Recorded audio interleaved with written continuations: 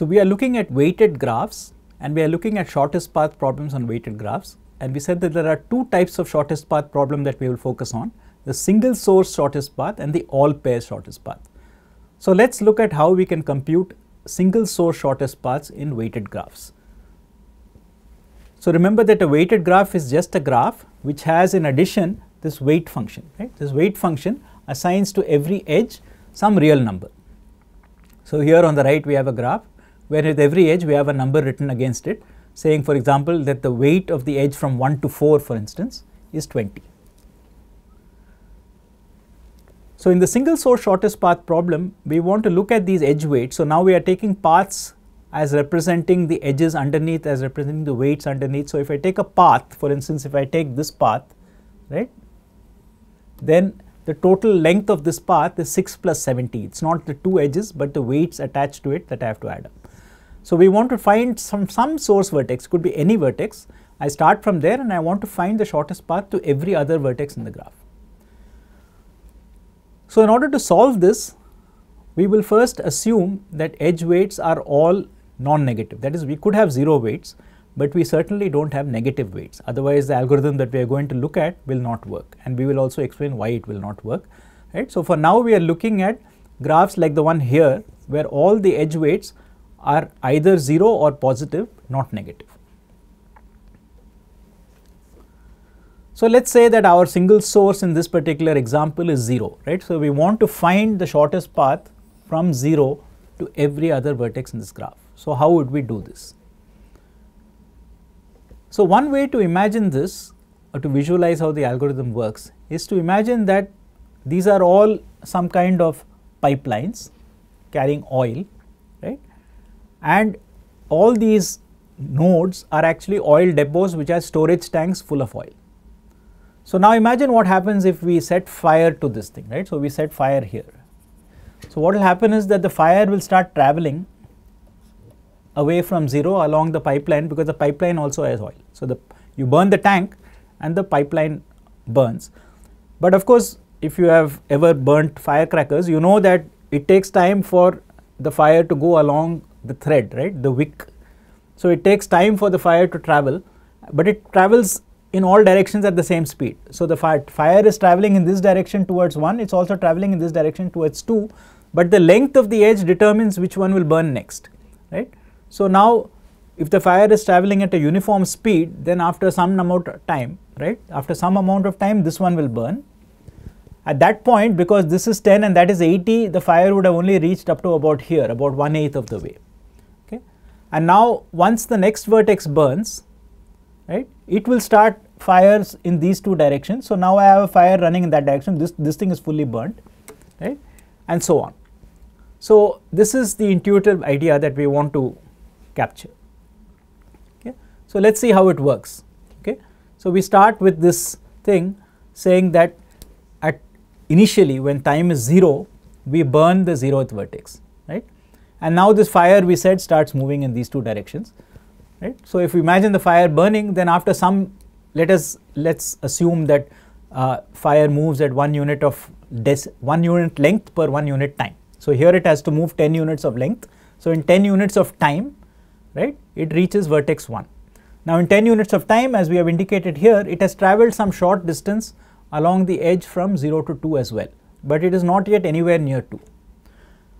Now that this is burnt, right, now something else is going to happen because I am going to end up having fire going in these two directions. So, after 6 units of time from this, vertex 2 is going to catch fire. Notice that this fire which started from 1 is still growing, but is nowhere near 2 and meanwhile this thing has also started traveling towards 4 right. So, what is going to happen next is that this fire is going to reach this at time 10 plus 20 right remember it is assuming assuming the fire is moving at 1 unit distance per unit time. So, at t equal to 30 vertex 4 catches fire okay and meanwhile this fire which is at 2 has started moving there and this fire now is kind of reached a um, little bit less than halfway from 0 to 2 because it has to take 80 time units. We have already spent 30 time units so far. So, it is supposed to be about 3 eighths of the way from 0 to 2. And now what happens here is that this fire now starts going in these two directions, right? So this, this fire is going here, this fire is going here, these three edges have all burnt and now two new fires start. So which one is going to reach the next one? Well, this is only 5 units of time. So in 5 more units of time, the fire from 4 will reach 6. So at t equal to 35, vertex 6 is going to burn. Meanwhile, this thing is started, so in 5 units of time, this fire has reached a little distance. This has made more progress, this has made more progress. Okay? And then from here, a separate fire starts going towards vertex 5 in addition to the old fire which was coming from 4. So now the separate fire is going to reach in 10 units of time. So at t equal to 45, our vertex 5 is going to burn. At this point, we have gone down 15 units of time have passed since 4 was burned. So this fire has only moved 15 by 50 of the way, about one third of the way there. And meanwhile, these things are still going. Okay. And then finally, what happens is that at time 86, this fire which started from here reaches here. At this point, everything has burnt, right? So all our vertices have burnt, but all the edges have also burnt. It so happens. It doesn't have to happen always. But now we have discovered the earliest time at which every vertex burns and now we can check that these earliest times are actually the shortest paths right. So, we have discovered some interesting shortest paths for instance we have discovered this shortest path, we have also discovered this shortest path right. So, the shortest path to 5 is not 0145 but 01465 right. So, this is how this algorithm works. So let's try to understand how we would actually do this calculation that we said by drawing these burning uh, uh, pipelines, right? So how do you keep track of when the pipeline is going to burn next? So what we do is we compute at every given point when each vertex is expected to burn.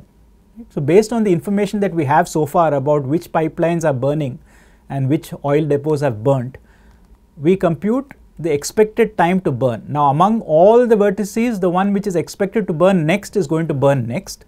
So at that time we burn it. So we update the vertex which is burnt. And once a vertex burns, it starts, remember, new fires along its neighbors, right? So towards its neighbors. So we have to check whether any of its neighbors will burn now faster because of this. So this is what we saw, right? So we said that when 0 burned, we started a fire here. So we could expect that this would burn at time 80. But after time 10 when this burned, a new fire starts. So we said, oh, if this burns at 10, then this is actually not going to burn at 80, it's going to burn at 16.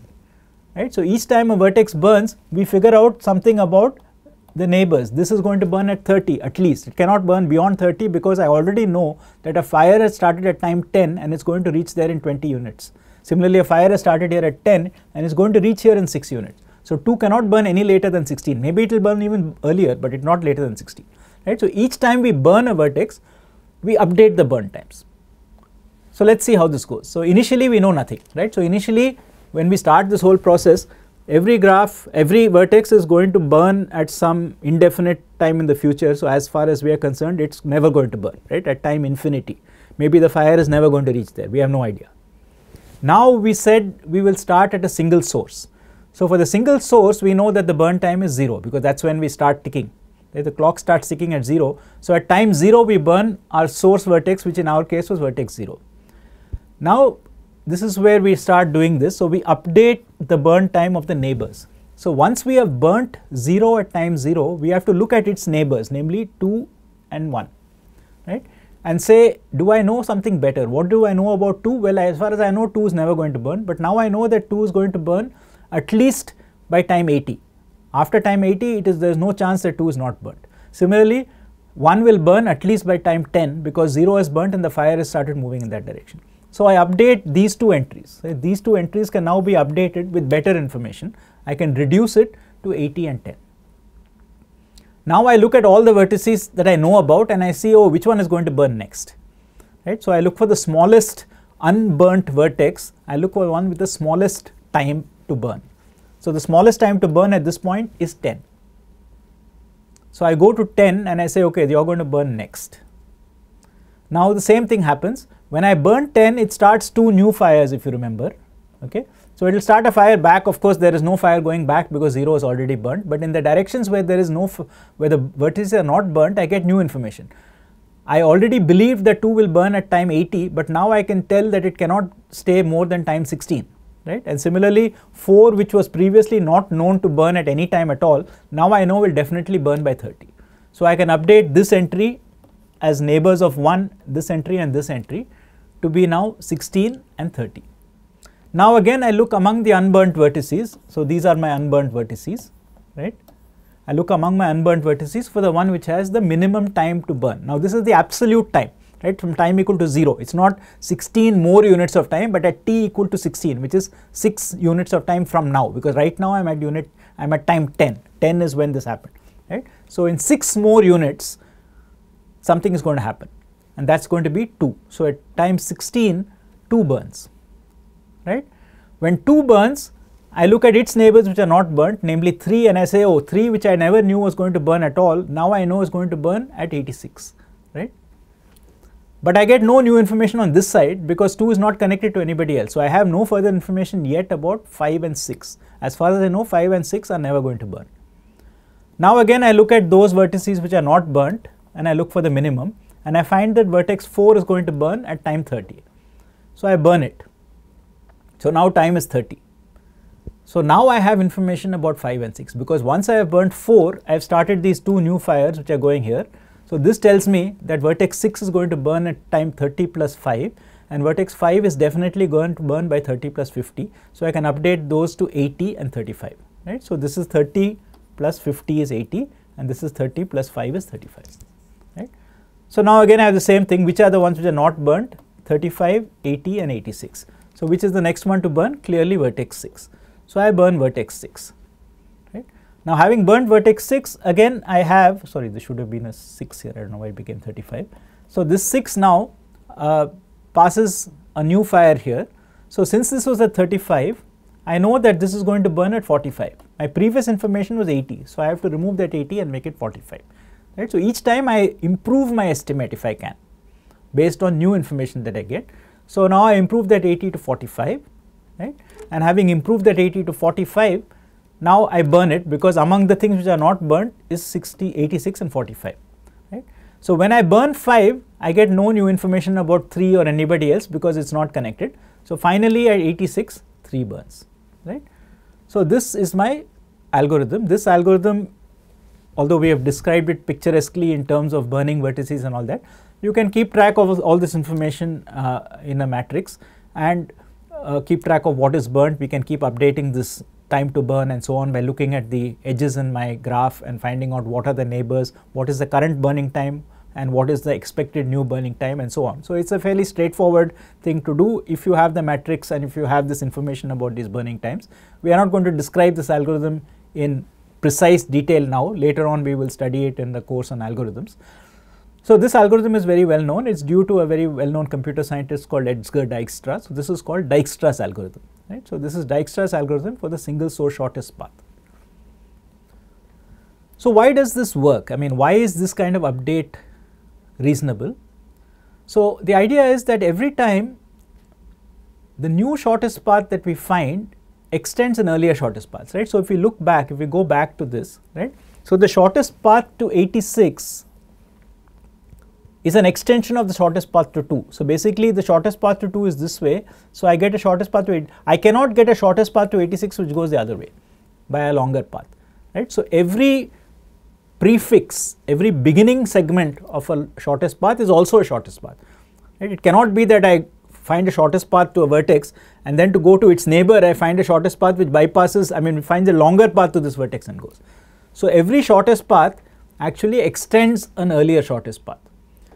So what we are going to show as a kind of correctness proof is to assume that at every point when we have burned some vertices, the numbers we have associated, the burning times we have associated are the shortest times. So by induction this is correct because the, the starting point is a source vertex which we label with 0. So when we label the starting point with time 0, obviously that is the shortest time at which it burns because that's the shortest path from a vertex to itself is length 0. So now at any given point we have some vertices which are burnt and we have some vertices which are yet to burn and with each of them we have an estimate. Right?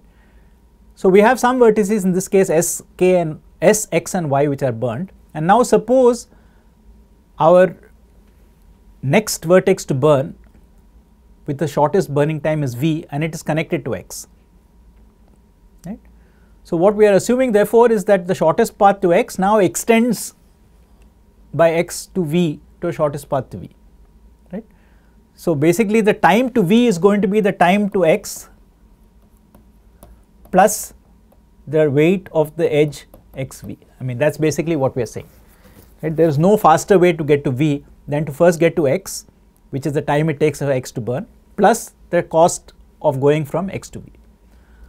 So now the question is, is this going to be the final value for v? Can we discover, because now we are going to burn it, right? So this is going to get burnt. So this burnt thing is going to include and by our induction assumption, once we burn a vertex, its value is correct, right? So is this value correct? That's what we want to know. So if we choose to burn it now, are we being hasty? Are we going to discover a better path to be later on, right? Can it happen? So supposing there is a better path later on, right? So where will that better path come? It will come from some other vertex which is not yet burnt because among the burnt vertices we already found the best path.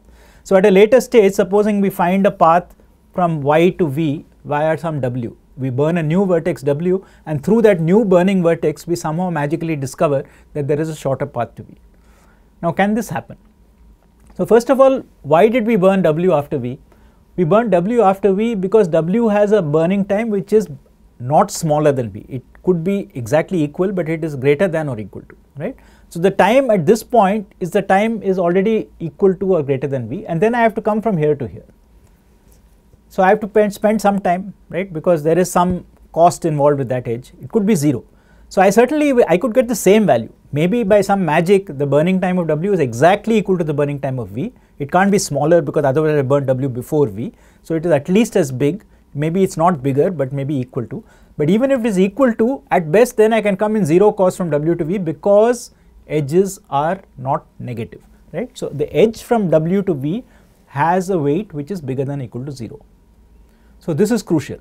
So if we did not have this then the decision to burn V based on its distance from X could have been premature right. So this tells us that we cannot use Dijkstra's algorithm if we have negative edge weights because this could happen I might discover a long path after I have burnt a vertex which becomes shorter because there are some negative edge weights which cancel out the initial thing. So it could be that the this is so W is bigger than V but because this is negative the cost coming back from W to V actually drops the cost of V below the cost that I had got when I burnt it. Right? So for this reason we have to assume when we run Dijkstra's algorithm that the edge weights are bigger than equal to 0 otherwise this strategy for updating is not going to always work. So to summarize, we have found an algorithm to compute single source shortest paths provided the edges have non-negative weights. And the way to think about this algorithm is to use this fire analogy, right. So we set fire to every vertex, we set fire to the initial vertex, think of it as an oil tank and they think of the edges as pipelines so this oil fire that starts at source vertex spreads at a uniform rate through these pipelines and then we can calculate through this pipeline uniform burning the rate at which the time at which every vertex burns and once we can systematically keep track of this we will get the shortest path to every vertex right. So this is Dijkstra's algorithm which works single source shortest paths for weighted graphs with non-negative edge weights.